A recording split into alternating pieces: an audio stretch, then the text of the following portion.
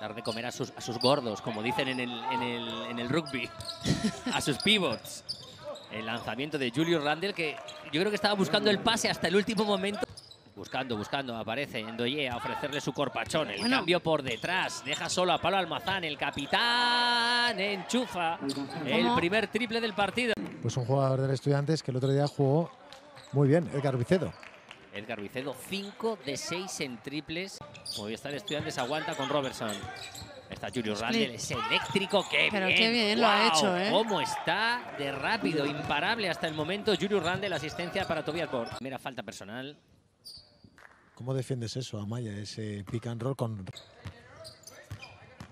Acelerando Julius Randle en lanzamiento. Madre Perfecto. mía, está haciendo mucho daño, está. ¿eh? Desde el pick and roll. Jerón Randle, madre mía, qué intensidad llega desde los banquillos. Jerón Randle. Bueno, ¿cómo está? ¡Boom! Siete puntos ¡Qué ya. partidazo está haciendo Jerón Randle! Randle delante de Barea, ahí le va madurando el lanzamiento en su cara. ¿Cómo está? ¡Qué duelo! Antes de que entrara, le gritaba a Cuspinera, manos, Barea. Sí, sí, además llevaban una mala racha y bueno, por, por lo menos han encontrado un sustituto rápido, ¿no? Para intentar no que, que ese handicap no sea tan grande. Saltó a destiempo. Se prepara para volver al partido Ángel Delgado. Ahí se va Randle. A one. Vale la canasta del hombre del partido, Pues- Jerome Randle.